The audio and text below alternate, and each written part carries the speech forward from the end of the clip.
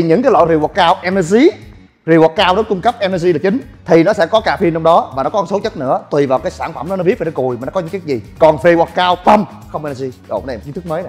Cái chữ pump nó mới ra gần đây thôi nha bạn. Nó mới ra gần đây thôi chừng 5, 5 năm đổ lại là thằng pump nó được lên tầm cao mới chứ còn chưa.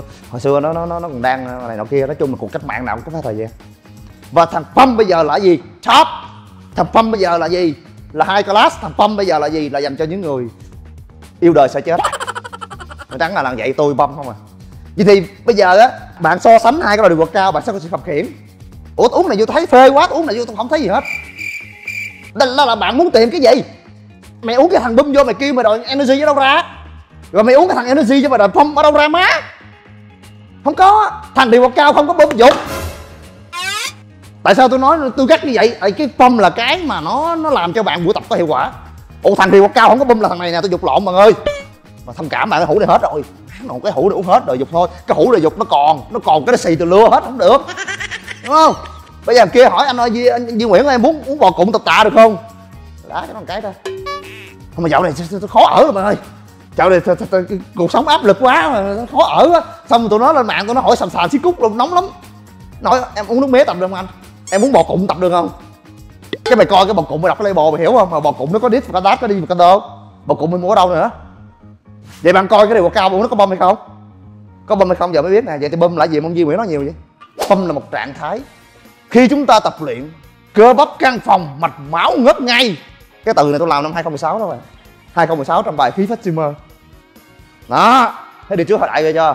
Là cái cảm giác đó là cái cảm giác an toàn nhất để cho chúng ta tập luyện. Nó nó đẩy cái dòng cái dòng blood flow blood flow là dòng máu. Dòng máu bình thường các bạn bơm giống như là thủy triều bình thường rồi đó còn bây giờ nó pump một cái nó đẩy mạnh lên. Ao ao vậy nè. Thì tốc độ vận chuyển máu trong thành mạch của bạn nó nhiều hơn, nó nhanh hơn, nó vận chuyển dinh dưỡng nhiều hơn.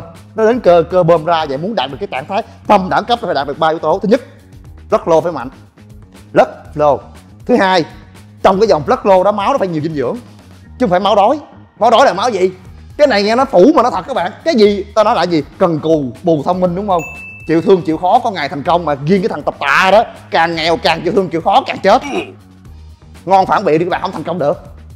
Không thành công được nó ngộ lắm. Vậy không nghĩ đi. Vậy thì quay lại cái dòng blood flow mà nó phải nhiều dinh dưỡng. Rồi cái tốc độ nó phải mạnh nữa. Máu đẩy cái dòng máu nhiều dinh dưỡng nó tới cơ cơ từ chối. Không nhận. Ta bận rồi ta không nhận mày. Thua luôn. Vậy thì cái yếu tố cuối cùng là cơ nó phải há cái miệng nó chờ sẵn nó nhận. Thì ba cái yếu tố đó tạo nên một cái trạng thái pump mà khi băm như vậy bạn cái trạng thái băm là là bạn người bạn nó nó có cái cảm giác nó không phải là energy nha. Nó dồn dồn rồi cơ nó phồng phồng rồi đó. Đó đó đó đó.